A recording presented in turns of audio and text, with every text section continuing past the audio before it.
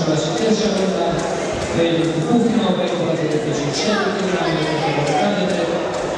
pomiędzy Karoliną Jakubiecką a Ewą Narożyczową, a Justyną Żołobowską, Jerzy Święczyn, a Niebieski. A do kolejnej walki przygotowują się.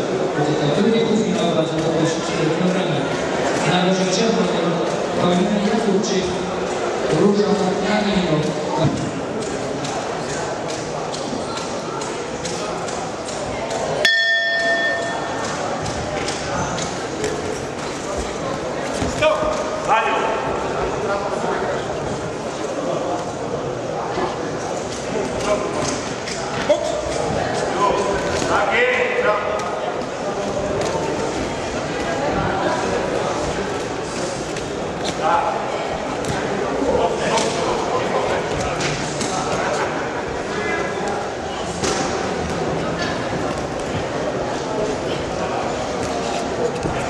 Zakończyła